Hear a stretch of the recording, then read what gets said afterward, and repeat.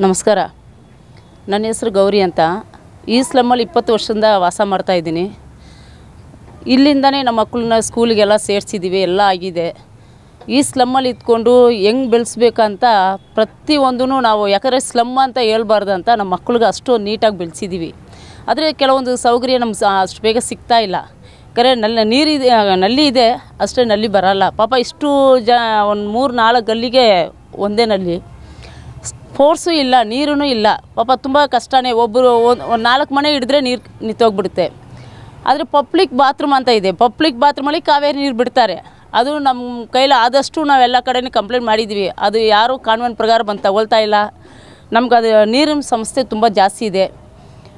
ಕೆಲ ಕೆಲವೊಬ್ಬರು ಏನು ಬಡವರು ಅಂತ ಸಹಾಯ ಮಾಡೋಕ್ಕೆ ಒಳಗೆ ಬಂದ್ರೂ ಇಲ್ಲಿ ನಮ್ಮದೇ ಆಫೀಸ್ ಇದೆ. ಬನ್ನಿ, ನಮ್ಮ ಆಫೀಸಲ್ಲಿ ಕೂತ್ಕೊಂಡು ಮಾತಾಡಿ ಅಂತ ಕರ್ಕೊಂಡು ಹೋಗ್ತಾರೆ. ಆ, ಸಹಾಯ ಮಾಡಬೇಕಂತ ಬರೋರ್ಗು ಇಲ್ಲಿ ಕೆಲವೊಬ್ರು ಇದ್ದಾರೆ ಒಂದು ಗ್ಯಾಂಗ್ ಇದೆ. ಅವರೇ ಡೈರೆಕ್ಟ್ ಕರ್ಕೊಂಡು ಹೋಗ್ತಾರೆ. ಕರ್ಕೊಂಡು ಹೋಗಿ ಕೂರಿಸ್ಕೊಂಡು ನಮ್ಮ ಕಡೆಯಿಂದನೇ ನೀವೇನೇ ಮಾಡಿದ್ರು ನಮ್ಮ ಕಡೆಯಿಂದ ಕೊಡಬೇಕು. ಇಲ್ಲಿ ನಮ್ಮ ನಮ್ಮವ್ರು ಇದ್ದಾರೆ ನಮ್ಮವರೇ ರಾಜ ತಲೆಯವರು ಇದ್ದಾರೆ ಅಂತ ಕರ್ಕೊಂಡು ಹೋಗ್ಬಿಡೋದು.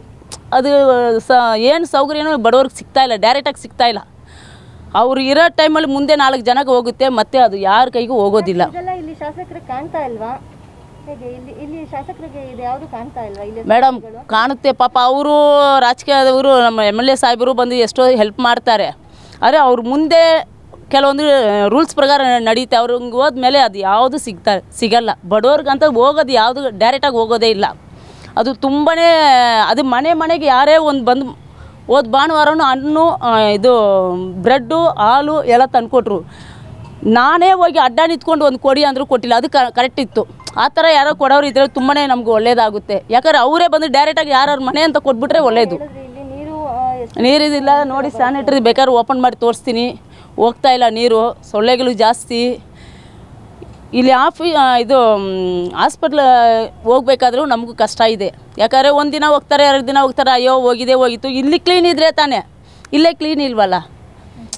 ಯಾರೇ ಬಂದು ಕ್ಲೀನ್ ಮಾಡಕ್ಕೆ ಬಂದ್ರು ಏನು ನಮ್ಮ ಮನ್ಸು ಮನ್ಸು ಸಮಾಧಾನದಿಂದ ಒಂದು ನೂರು ರೂಪಾಯಿ ಕೊಟ್ಟರೆ ತಗೊಳ್ಳಲ್ಲ ಐನೂರು ಐನೂರು ರೂಪಾಯಿ ಬೇಕು.